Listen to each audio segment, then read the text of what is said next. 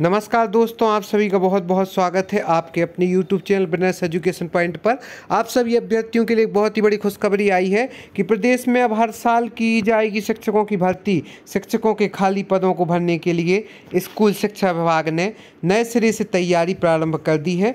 शिक्षकों की कमी को दूर करने के लिए प्रदेश में अब हर साल शिक्षकों की भर्ती की जाएगी। स्कूल शिक्षा राज्य मंत्री इंदर सिंह परमार ने दैनिक भास्कर से बातचीत में बताया, उन्होंने कहा कि इसके के लिए मसौदा तैयार किया जा रहा है। व्यवस्थित एक शेड्यूल तैयार किया जा रहा है। ज़रूरत के हिसाब से शेड्यूल बनाकर तीनों श्रेणी के शिक्षकों, वर्ग एक, वर्ग दो और वर्ग तीन की भर्ती की जाएगी। मंत्री ने कहा कि प्रदेश में लंबे अरसे के बाद 2018 में शिक्षकों की भर्ती के लिए पात्रता परीक्षा आयोजित की गई थी। इस परीक्षा में चयनित हुए शिक्षकों की नियुक्ति की प्रक्रिया जारी है। हर साल शिक्षकों के करीब तीन हज़ार पद खाली होते हैं। स्कूल शिक्षा राज्य मंत्री ने यह भी कहा है कि जिन चयनित शिक्षकों की पात्रता की वैधता अगले महीने खत्म हो रही है, उनकी वैधता की अवधि भी बढ़ाई जाएगी। वर्ग दो और तीन की परीक्षाएँ जो 2018 की 2019 में हुई थी, उनमें भी नियुक्तियों को लेकर जो विवादास्पद स्थितियाँ बनी रहीं, बीस पदों पर भर्तियाँ तो ही फिर भी कई अभ्यर्थी संतुष्ट रहे और वर्ग तीन की पात्रता परीक्षा में असंतोष का माहौल रहा। लेकिन अब जो एमपी टेट का प्रमुख मामला आ रहा है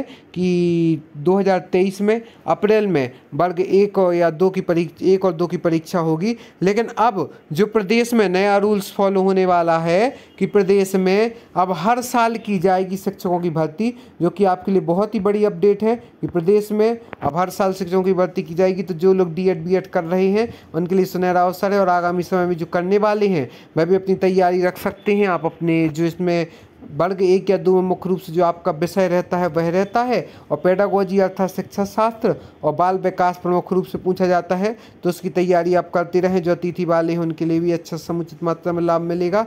तो आप सबके लिए सुनहरा अवसर है। अभी तक आपने हमारे इस चैनल को सब्सक्राइब नहीं किया है तो सर्वप्रथम आप हमारे चैनल को सब्सक्राइब करें, वीडियो को लाइक एवं शेयर करें। एवं डिस्क्रिप्शन बॉक्स में जाकर इंस्टा की लिंक के माध्यम से आप हमारे समाज, शास्त्र, लोक प्रशासन, मध्य प्रदेश की प्रमुख रियासतें, हिंदी एथिक्स पॉलिटी जियोग्राफी आदि सभी सब्जेक्ट के नोट्स परचेज कर सकते हैं, जो कि टॉपर्स के निर्देशन में तैयार किए गए हैं। तो अब सुनहरा अवसर है, प्रदेश में हर साल होगी शिक्षकों की भर्ती, जिसमें सभी के लिए लाभ मिलेगा तीन हज़ार से ज़्यादा जो है मतलब तीन हज़ार से ज़्यादा पद हर वर्ष खाली होते हैं।